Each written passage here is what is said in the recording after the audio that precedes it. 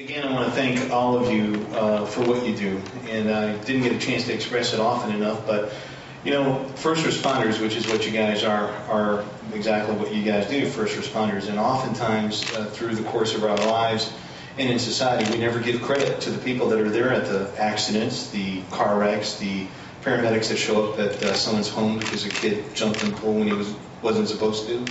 And I just want to thank you from the bottom of my heart and from the bottom of the hearts of my wife and my kids and all my friends.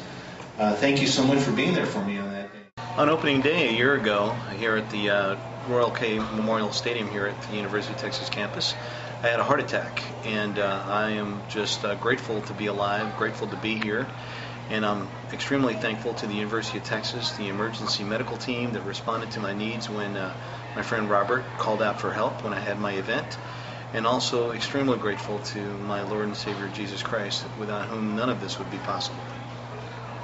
As a member of the UTEMS team, we are very glad to have Shane here with us today.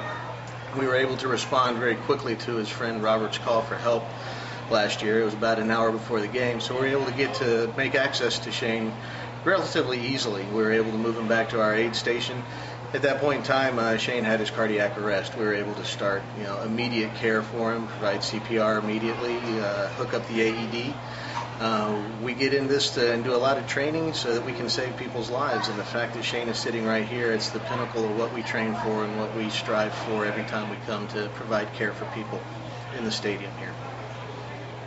It's been a long road, but uh, recovery has started. But it started on that day with all of you being there to help me. So I know that oftentimes you probably don't get the credit that you deserve, but I'm one person to tell you that uh, you have made an impact in my life, and not only that, but you've made an impact in the lives of everybody I touch. So, from the bottom of my heart, thank you for what you do. Thank you to the University of Texas and uh, the emergency medical team. And uh, uh as uh, doctors have told me since my event, if I was anywhere else except at a UT football game, there's a good chance that I probably wouldn't be here right now.